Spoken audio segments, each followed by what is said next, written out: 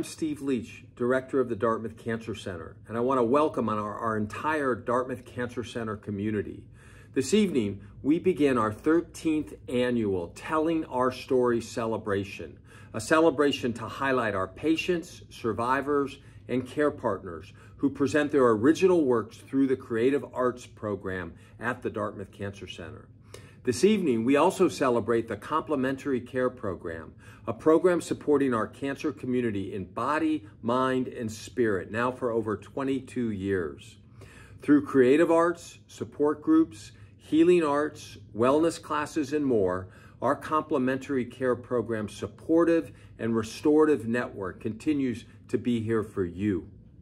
We are forever grateful to all of our sponsors Without the generosity of our donors, especially those that support the annual Prouty event, our creative arts and complementary care programs would simply not be possible. Our creative arts program is available not only for patients of our Dartmouth Cancer Center, but also for patients within Dartmouth Hitchcock Medical Center, thanks to a brilliant working partnership with the DH Arts and Humanities program. We also express gratitude to all who make telling our stories take form. Program specialist Michelle Davis for her compassionate coordination. Creative writer Marjorie Sada for mentoring our creative writers. Visual artist Kim Hall for mentoring all of our artists. And therapeutic harpist Margaret Stevens, Pam Stoyer, and Patty Williams for sharing their beautiful healing music. And of course, to all of you who have stepped forward with stories, poems, and art, and most importantly, a willingness to share your journey. We thank you all. You continue to inspire us. Your work speaks for itself, so let's get to it.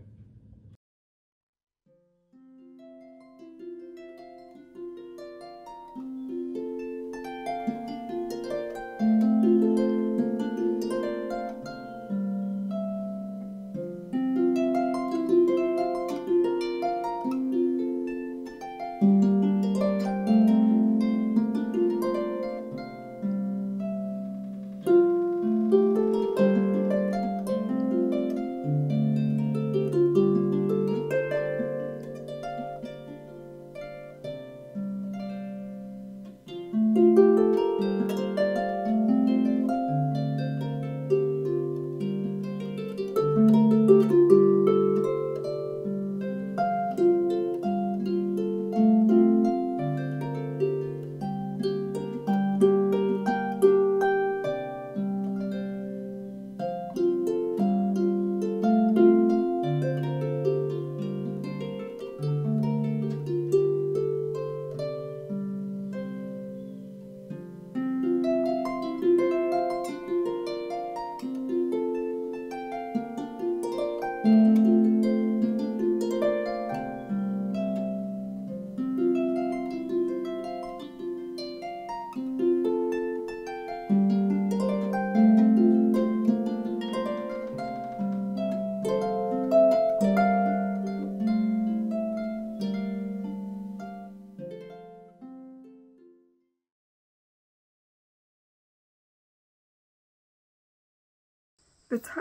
this poem comes from Greek mythology.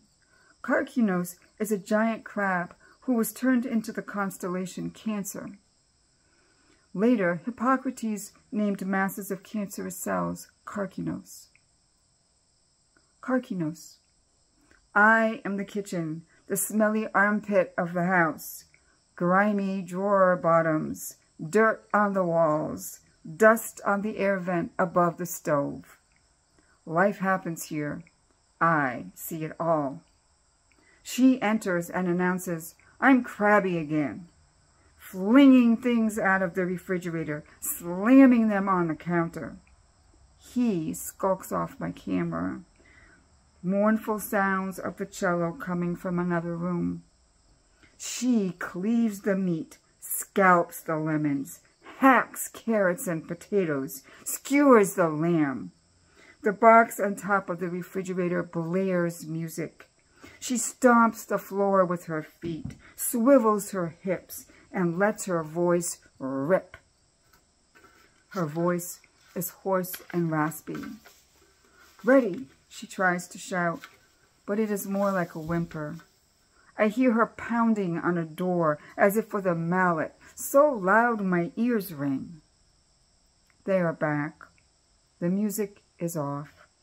Exhausted now, fury floods from her, sucked up by the air purifier. Its particle light is red. She sits, depleted as gray. They give an intimate embrace with their eyes, wrapped in a shroud of sadness. She slumps in her chair, picks up a knife and fork. The giant crab that lives inside her clicks his pincers. She eats and is eaten.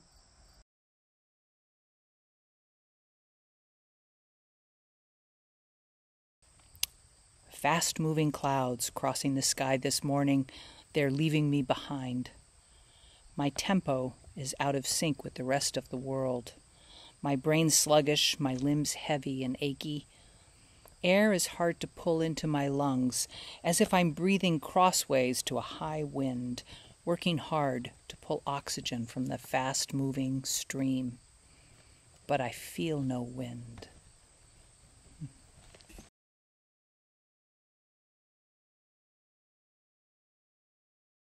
Morphine drip. Stealing myself to see, I cracked an eye, just barely. Through the haze of my lashes, open enough to see, but not enough for anyone else to know I was awake or alive. I heard the slurp while wakening, or maybe it woke me. The wet slurping from the corner was a busy, noisy, sucking sound, and I wondered had some child wandered down the hall and found comfort in the curtained corner of my room, slobbering and crunching over a lollipop in a rush to get to that paper stick before being discovered by a searching parent. Instead, I saw a troll, the kind that lives under a bridge, greedily sucking on a bone.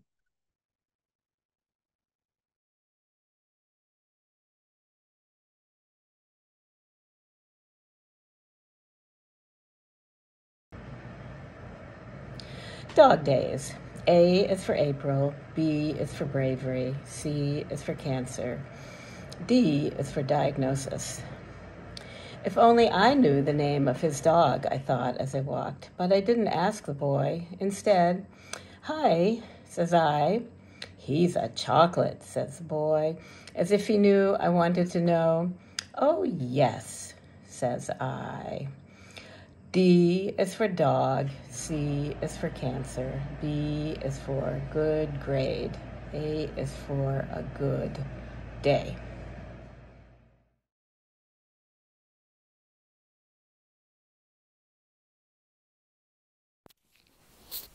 Hello, my name is Kathleen. I am here tonight to read a piece that was part of one of the writing circles um, that Marjorie facilitated.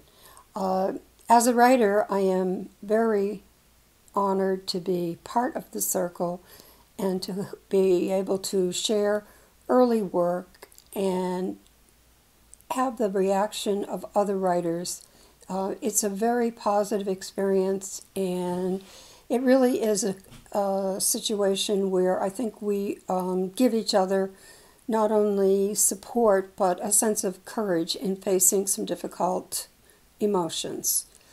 Um, the piece that I'm going to read is called The Kiss, and this is my memory of being 10 years old, and it's the morning of my mother's funeral, and I'm in my childhood kitchen. The Kiss.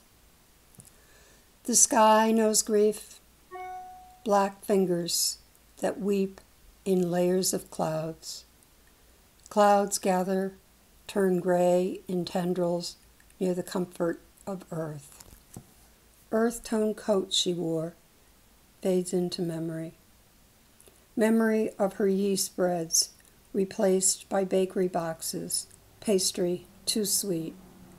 Sweet orange juice splashed into bourbon, aunts and uncles whisper in the kitchen, trails of cigarette smoke float, float through the requiem mass, strangled by incense as my soul is kissed by Ave Maria.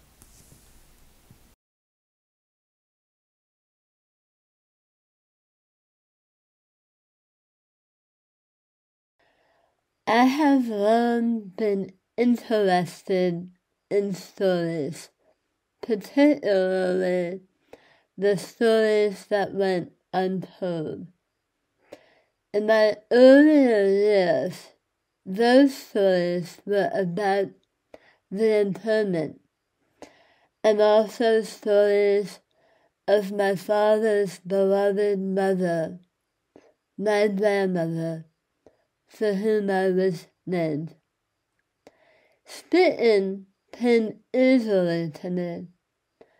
For years, each night, I told my children another installment of our beloved Matt and Toshi stories. I read aloud to them for hours when they were young, and I had no fear of getting up in front of an audience and addressing a group. I had no idea I would literally lose my voice. Before the surgery, my daughter asked if I would need speech therapy. The doctor replied, Oh, yes, her speech will be garbled. Garbled? I had absolutely no speech at all. Fortunately, I had been prepared and had packed a portable whiteboard and a erasable marker. It became my new best friend and the only way I could communicate. Thank goodness I had paid attention in this class second grade lessons on penmanship. I cannot tell you how many nurses, doctors, and technicians explained on my handwriting skills while I was in mute. And I was mute for months. Gradually, I began to speak. I could make sounds, although only my immediate family could translate them, which a speech therapy helped.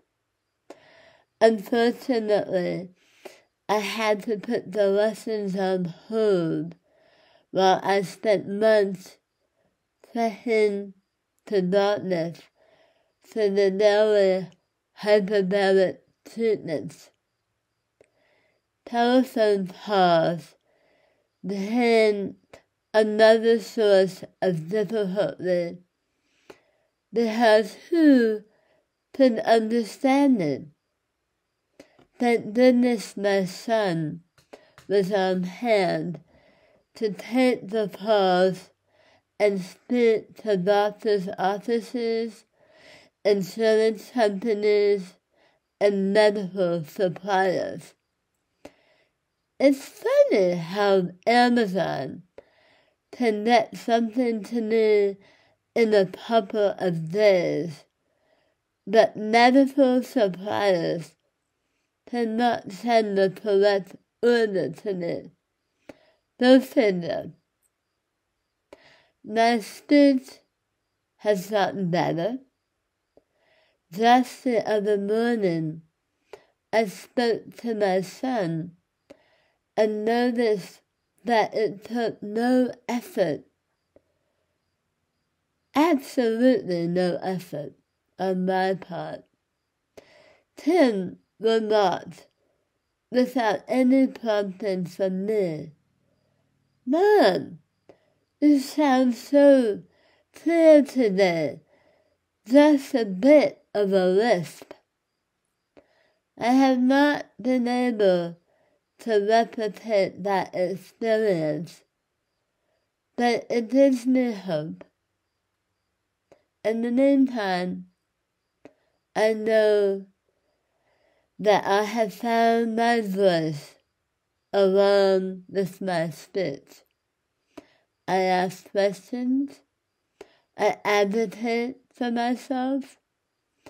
Recently, my employer terminated me after 10 years of devoted, dedicated service.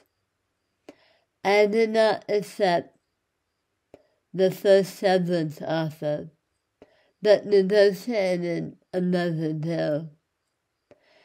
Because of the cancer, I am writing again. So, in many ways, although I struggled my speech, I have at last found my voice.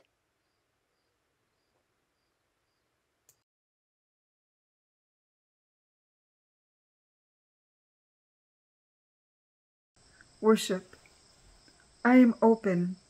I am open here under the two red oaks whose branches play with touch, whose branches almost, almost touch with leaves tightly furled in early spring, whose branches reach across the chasm of sky space, forming an arc, framing emptiness, whose branches play with touch as breeze carries them closer, whose fully emerged green fingers touch barely, barely touch, framing the empty expanse of sky.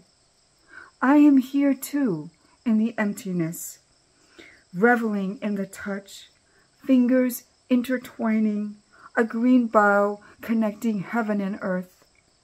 Here, under the two red oaks, I am open. I spread my arms, thin as an outermost branch. I spread my arms like the oaks, and I give thanks.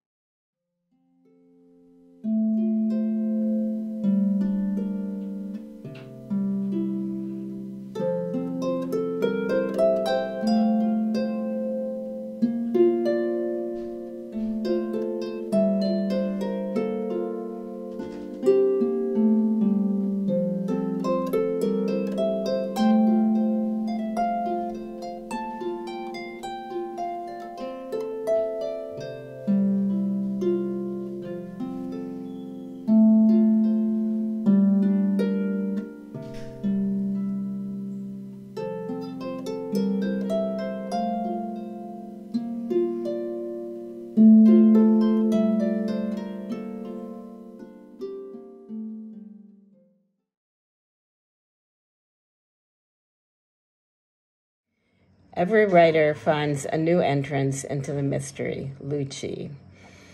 How do I introduce myself in advance of the unknown? Hello, new classmates. Do I simply invite you to know about the last door I entered, the one decorated with a garland of lilacs in bloom? I was commemorating almost 55 years since I last walked through the Great Court gates and left my college life behind. Or do I invite you to know that last week I began a third round of chemo? They say I failed the first two. The new one is intended to prevent further growth of invasive tumors tangled in my bladder more weeds to pull before they take over the garden.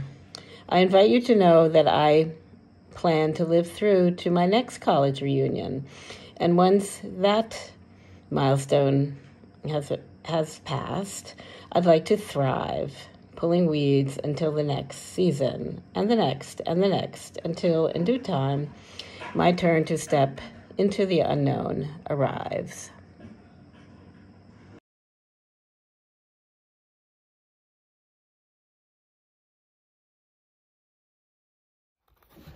I'll begin by reading a note that I wrote to the reader. Friendship brings the gift of finding ourselves through the love of others at all stages of our life. Discovering friendship. We hold hands fiercely, confident we are best friends as we squint at the camera. High top shoes painted white, clean cotton ankle socks, dresses starched and ironed. We share a time before our families had television, Studebakers, two story homes made possible by the GI Bill. We play in the side yard of the tenement, line up rocks to mark our kitchen, pretend to cook and serve each other meals. You and I are strong together, unafraid. Play hide and seek between the line dried sheets, confident that we have each other, unaware that we are post war babies. Dads trying to sleep through nightmares, moms who married young far from their moms, new to keeping house, longing for their former lives.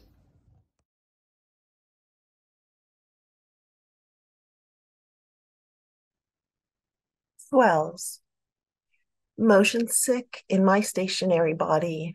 I know this feeling in its whole entirety blazing through me if only I had a way to keep it at bay. I know this feeling, always just around the corner if I make a wrong turn or take a wrong turn.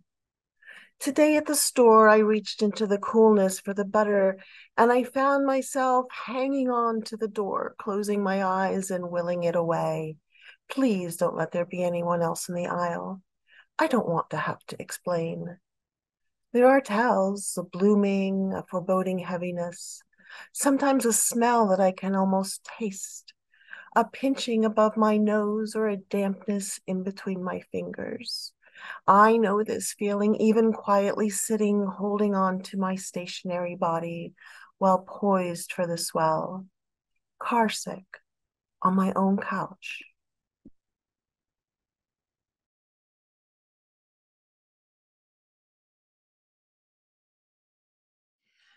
Those four fruit trees.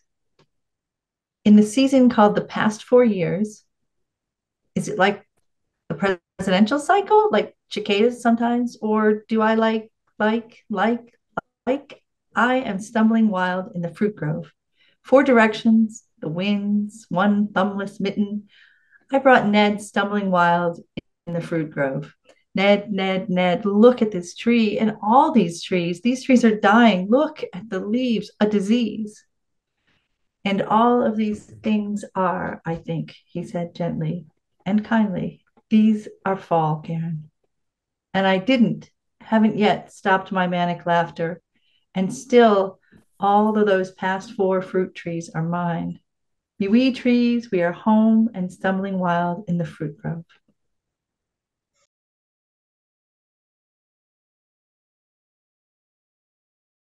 A mother's job. A mother's job is to take care of her kids, no matter how she's feeling herself. She puts their needs in front of her own and puts her, own needs up on the top shelf. A mother's job is to always be happy, to show a cheerful, smiling face. She makes sure everyone else feels good. For her own worries, there is no time or space. My mother just turned 90 years old. She spent two weeks in the hospital, gravely ill. Now she's in hospice care at a nursing home and taking a back seat to others still, while her old body is tired and worn, and she can barely hold up her head. She's telling my dad and me to have a good day, always thinking of others instead. So the least I can do is to make her comfortable, to help her eat and comb her white hair. I can hold her frail hand and kiss her sweet cheek, say, I love you, Mom, and say a favorite prayer. I can tell her how much I appreciate her and all the care she's shown for everyone. I can tell her that she did her job very well, and now her job is done. Dear Mom, you mean so much to me. I love you with all my heart. I want you to be happy and at peace, even if we have to part. Thank you for being the best mom on earth, for putting family first in everything you do. You will always be in my heart and soul. Dear mom, sweet mom, I love you.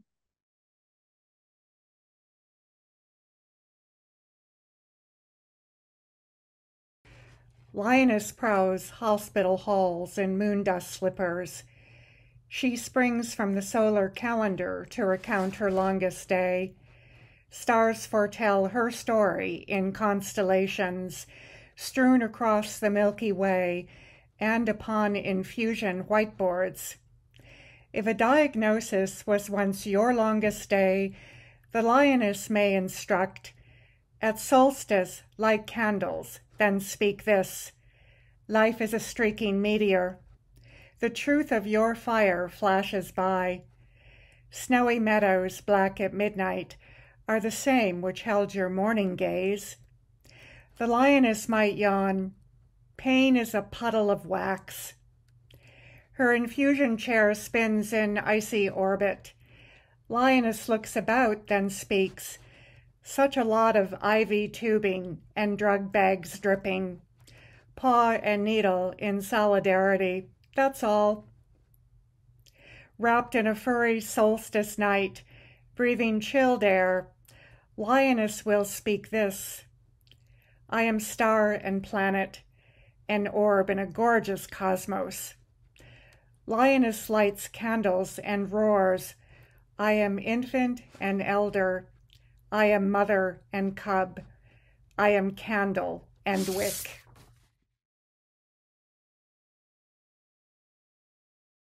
The first stanza of this poem quotes Linda Pastan's poem, What We Want. Who is the dream? We don't remember the dream. The dream remembers us. It is there all day, as that stars are there, even in the full sun. What or who remembers us, knows our names, carries them faithfully even when we forget? Who or what knows our names, carries them forward, beckoning here, I get you, I am you. A mirror waiting for us to join with our reflections, walk into our true selves. The dream remembers us, even when we are not looking and cannot hear. The dream remembers our names and holds them for us until we are ready, ready to come home.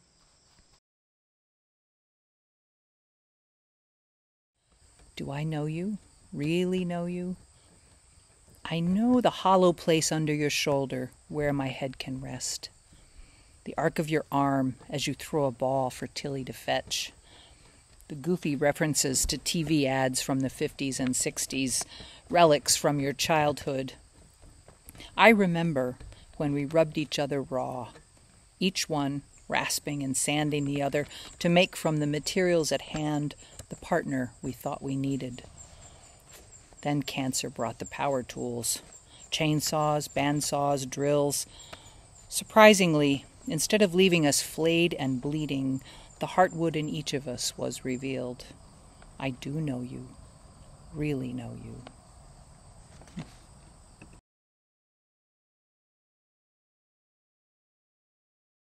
You want words.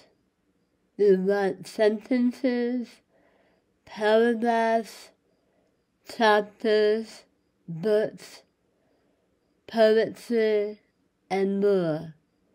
More life.